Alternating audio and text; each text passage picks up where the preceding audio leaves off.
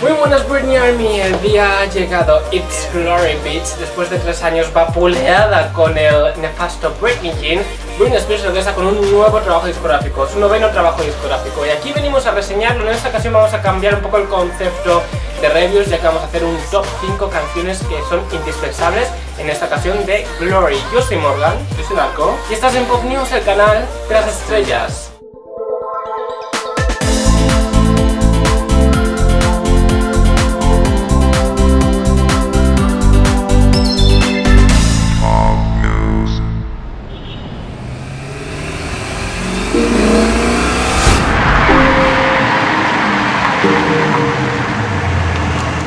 la reseña global del nuevo disco de Britney Spears Glory. En esta ocasión vamos a hacer también un top 5 de nuestros temas favoritos del disco. Pero antes de comenzar queremos darle un saludo muy afectuoso a nuestro querido Pachu Adán, un saludo enorme. ¡Mua! Bueno y de paso también muchas gracias al que me dejó la filtración del disco cuando se dio en México que fue Rain Dance 94. Comenzamos.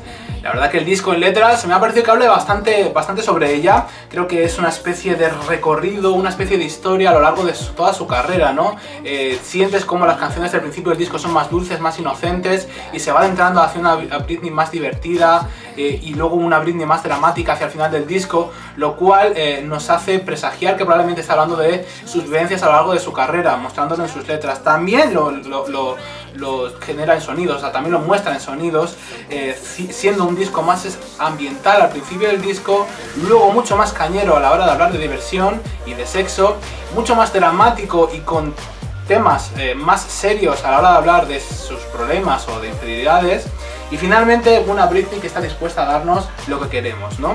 Sí que es cierto, y en cuanto a voz, que eh, le podemos escuchar temas muy relajados, temas eh, muy... eh, a la vez de que es- no es, es un disco sin pretensiones, a la vez sí que lo es, ¿no? Porque quiere mostrar matices en su voz que realmente donde tiene que demostrarlo sería cantando en directo, que es donde se demuestra, ¿no? Quizá esto es lo que yo criticaría del disco, ¿no? El, el querer centrar la atención en su voz, voz que después no puede demostrar que tenga en directo, pero se hace una experiencia bastante divertida y amena eh, a la hora de escuchar el disco, ¿no? Sin tener que buscar más eh, allá de lo que estás escuchando, ¿no? A la hora de disfrutar el disco se hace bastante ameno, ¿no? Eh, la puedes ver en diferentes registros, que sí que es cierto que en, todo momento te viene a la cabeza el... "Buah, Madre mía, esto se está pasando, se está colando como un colador, ¿no? Sí. Pero que, que, oye, a mí se me hace divertido escucharla de repente en temas rock and roll o en temas que a lo mejor no pueda llegar en directo, ¿no?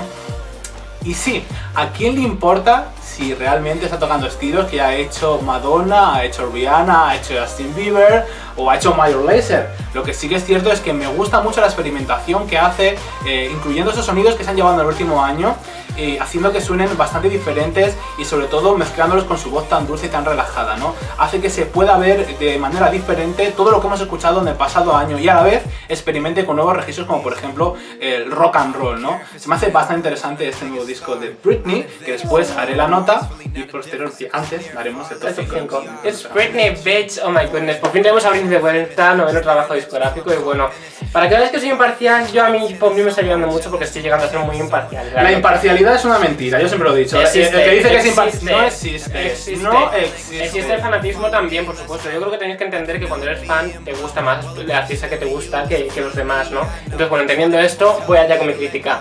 Vocalmente, creo que tenemos a una Britney que quizás sea en, en- la vemos en el mejor punto de su carrera vocalmente porque toca muchos registros muy diferentes entre sí, va a muchos lugares, pero claro, lo que tú dices, lo que dice todo el mundo, es que en muchas ocasiones se ve forzado, se ve todo eso, han llegado con un Mac, han hecho clic y ala. Ha llegado Britney, claro, la voz de Britney, claro, es una máquina. Ya, pero yo quiero decir que tú, a ver, yo no le echo en cara que se le retoque digitalmente, sino que yo muchas veces, hay veces que hay canciones que a lo mejor no están retocadas digitalmente, pero que es muy fácil cantarlo en un estudio repitiendo, repitiendo y repitiendo, pero que eso luego a la hora de extrapolarlo al directo no lo puedes hacer en una sola toma. Ella lo que yo digo, no que esté retocado muy, muy... Yo creo que este disco no está retocado, no está muy retocado vocalmente, Yo sí lo pero creo. sí que creo que ha, ha querido mostrar su voz repitiendo, repitiendo, repitiendo tomas de a lo mejor agudos No. que no puede llegar en directo de una sola vez. Yo creo que ha tenido más trabajo vocal. Yo creo que ella se ha currado más el trabajo vocal. ¿eh? Mm. Que tenga a lo mejor un pequeño retoque vocal eh, eh, eh, de, manera, de manera digital Mm. también es cierto, pero yo creo que se ha currado ella de por sí bastante A el ver. aspecto vocal,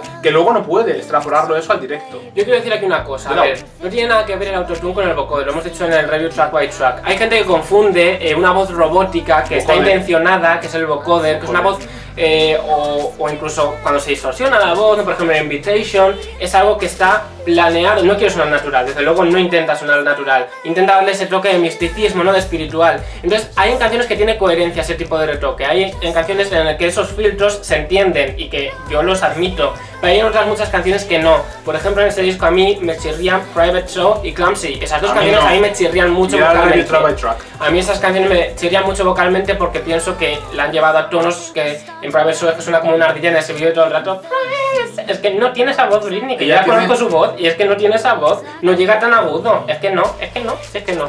Entonces, bueno, vocalmente, yo creo que es la única crítica del álbum, que yo creo que siempre habéis dicho todo el mundo que Britney abusa de autotune. Yo considero que no abusa de autotune más que otra, cualquier otra artista y encima artistas que cantan de puta madre, Britney una más limitada, pues yo creo que no abusa mucho más que ellas, ¿eh? Entonces, bueno, yo creo que ese es el disco quizás en el que vocalmente Britney tenga más edición, aparte de Blackout, que en Blackout, claro, era un disco electrónico y bueno, también querían hacer una voz robótica, robotizada y tal, entonces, bueno, pues entendía. Pero ese es el disco en el que sí, por primera vez en la carrera de Britney, aparte de en as Ice, que esa canción me parece que tiene un autotune extremo, Y con las es- Fire. Esa es, la misma, ¿eh? Ah. Entonces, bueno, aparte de esa canción, esa es la única, eh, Private Show y Clumsy son las únicas que me chirrían vocalmente de Britney en su carrera. Ahora, en parte de sonidos, creo que trae una propuesta totalmente diferente. Estamos eh, todos de acuerdo en que Britney siempre coge las cosas que se han llevado últimamente en el pop, ¿no? En la industria musical. Coge la idea y ella la hace suya, la hace suya, experimenta con ella y entonces coge todo ese sonido, te recuerda otras cosas, sí, pero le da su toque personal siempre, siempre hace algo diferente, le da una vuelta de tuerca y todas las canciones que tenemos de Britney en este disco a mí me parecen realmente experimentales, ha trabajado con eh, productores de Lana del Rey, tiene un toque incluso indie en algunas canciones, unos estribillos que se diferencian completamente de los versos.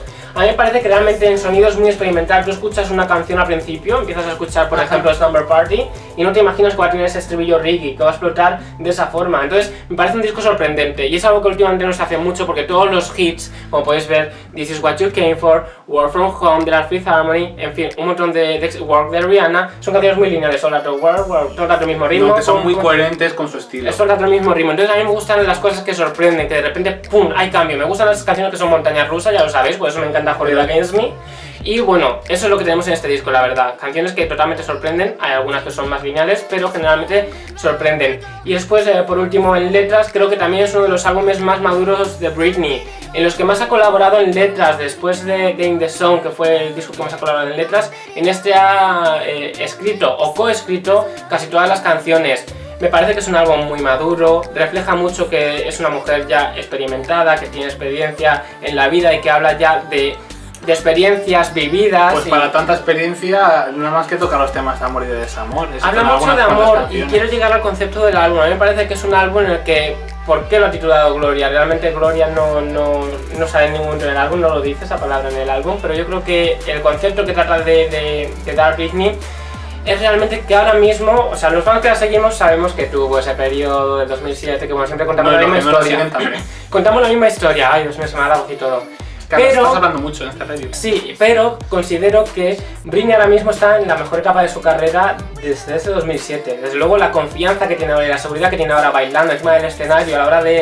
En de- eso estoy de acuerdo. en eso estás de acuerdo. Entonces, creo que este disco refleja completamente, ahora sí, ahora sí, ahora estoy donde tenía que que yo estar. estoy diciendo, que yo Ahora creo que por eso lo ha titulado, pero eso ya lo dije. ¿eh? Entonces yo creo que Britney desde 2007 ha estado siempre en un mundo oscuro del que no podía salir nunca, siempre se sentía cohibida, tímida, hepatosa, n- como artista no se sentía bien, yo creo, nunca se terminó. Y ahora yo creo que se siente bien por eso, la gloria, hemos llegado al cielo. Realmente esa luz que ella tiene dentro ha conseguido sacarla fuera y que todo este álbum sea Pegarse cuatro una luz y grabarlo. una luz hacia la gente. Y para mí desde luego cuando termino escuchando Hot Electric es la canción que desde luego refleja todo eso. Es una canción que está llena de oscuridad en su en su, en su instrumentación y después ella de esa forma dulce un poco dando luz a esa, toda- a esa oscuridad Sí, esa canción. entonces que- bueno me parece el, trabajo esa- más artístico de Britney en su carrera dudas. Electric, esa canción que podía estar eh, interpretada Vamos por, a la nota. por Britney Spears o por, perfectamente. Pacheco. Bueno, vamos ahora con el top 5 de nuestras canciones favoritas de Glory.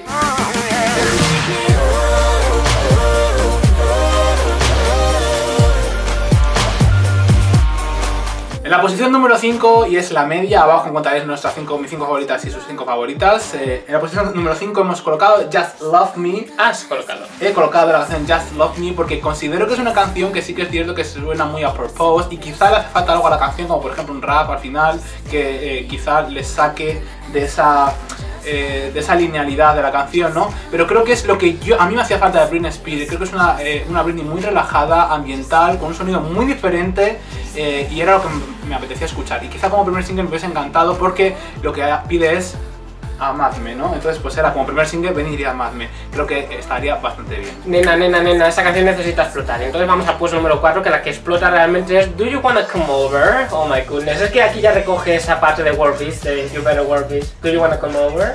Entonces, bueno, es esa Britney que todos, yo creo, todos los gays hemos amado locamente. Ujú. Y hemos sido todas pasivas y hemos dicho, ¡Ah! Wanna Come Over? Entonces me encanta. Es una canción que de nuevo es épica de principio a fin, tiene muchas cosas icónicas. El ajá con el que empieza. La canción en producción es muy cambiante y es una canción que probablemente sea la más pura esencia Britney del 2003. Es Original Doll que iba a hacer en el que en No muchos- la reseña otra vez de la hemos, hemos escuchado entonces, bueno, la canción más sorprendente sin duda del álbum y la que tiene la, la esencia de Britney más pura. En la 3 y mi canción favorita es Better, que es una canción Por que fue, es en la deluxe, la que abre la edición deluxe. Hortera. Que suena mucho a Myron Lace, suena mucho a lo que ha hecho Justin Bieber, pero yo creo que está muy justificado ese estribillo tan bailable porque es una canción que es muy liberadora. Habla por primera vez en la canción y por eso me ha gustado. Eh, no se centra en temas de amor o de desamor, sino que habla con, a- gente con problemas de autoestima o que no aceptan su cuerpo. Invita a despojarse de, todas esas eh, de todos esos complejos y ser libre. Y lo refleja en la canción. Es una canción que es mi favorita y creo que si fuese single, creo que todo el mundo podría amar esta canción. Hortera, de mensaje social y de música escuchada de una Posición número dos. La posición número 2 vamos a mi canción favorita. Esto sí que es un tema, un cariño. Liar, por favor, esa producción, desde luego, es que no tiene desperdicio. Sin duda, la canción indispensable dentro del álbum. Y ojalá se marque un eh, circus y lance una canción deluxe como single oficial. Liar la quiero como single por ese rollo cowboy, por ese estribillo tan pop, esa, ese- esa producción cambiante, esa actitud de Britney tan guerrera. Y nuestra es- canción favorita, la posición número uno, hemos colocado a Slumber Party. Oh my goodness. Es una canción que es muy sexy, refleja perfectamente todo lo que es Britney. Es una canción sexy, es una canción desenfadada, divertida. eh, creo que todo el mundo podría bailarla, que es lo que estamos esperando en Britney. Además, ahora que está regresando como muy bailable, o sea, está regresando a, a ese tiempo en el que bailaba, ¿no? Y entonces estamos deseando poder verla bailar esta canción y esperemos que sea eh, el próximo single. Es una canción que me recuerda muchísimo a ese Rebel Heart de Madonna, pero toma un camino muy diferente, ¿no? Le da un- unos matices en su voz que hace que suene muy diferente estos registros que ya exploró Madonna o Justin Bieber en el pasado. Estas han sido nuestras cinco canciones favoritas, como digo, abajo veréis sus cinco y mis cinco. Exacto. Vamos con la nota del disco. ¿Qué nota, ¿Qué nota le has dado al disco de Britney Spears? Recordemos que en tu último review que hicimos de Britney Jean, el último nota. review directo, eh, dijiste que era el, disco del año Bueno, sí, y que era su mejor disco y el más personal. Eso mismo he dicho que. Bueno, ahora que- Pop ¿con qué nos News vienes? Me está dotando de imparcialidad. Ya, ya, de que no existe la imparcialidad.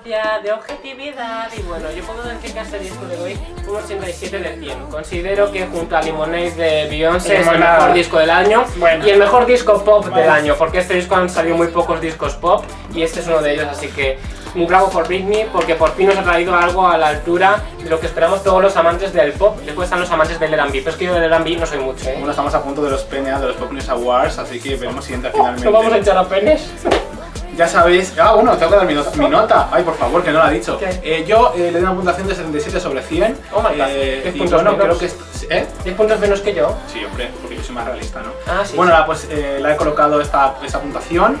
Eh, considero que es el tercer mejor disco del año. Para mí, uno es Lemonade, dos sería Dangerous Woman de. Ariana Grande y tres sería este. Como disco pop, a mí me gusta más Dangerous Woman que. Es que a las mariquitas como tú le das un poco de voz y ya. A mí es que me gusta más la voz, la verdad. Sí. y, y bueno, si puede demostrarla, como es el caso de Ariana, pero si no la puede demostrar como Britney en este caso, pues oye, Claro. se queda un poco solita, ¿verdad? A mí me gusta el Bueno, bailador nos encanta, pues, nos, nos encanta leer siempre vuestras reseñas, vuestras canciones favoritas del disco. ¿Qué opináis del disco? ¿Con quién estáis de acuerdo? ¿Con esta cretina o conmigo? Todo esta esto cretina nos encanta. Nos conmigo. encanta. Con esta cretina conmigo. Pues eso, nos encanta, nos encanta leeros y sobre todo, bueno, centraros más bien en vuestra crítica, ¿eh? Más Gloria. que centraros en lo que opinamos nosotros. Gloria. Invitamos a que vosotros deis vuestra propia opinión, porque opiniones somos muy macarrónicos. Sí, gloria señores, gloria. Bendecidos seáis. Gloria a Dios. Bendecidos seáis. Bueno, pues ya sabéis que para estar informado de lo que va surgiendo acerca de esta novela de Britney Spears y otras muchas tantas que van a estar a punto de llegar, como por ejemplo mi diosa Lady Gaga, que seguramente va a arrastrar a todas estas vecinas. ¿Cómo? Bueno, ¿Me pues dijo? muy atento a próximas transmisiones. Nos vemos en la próxima. We're sorry is not in service.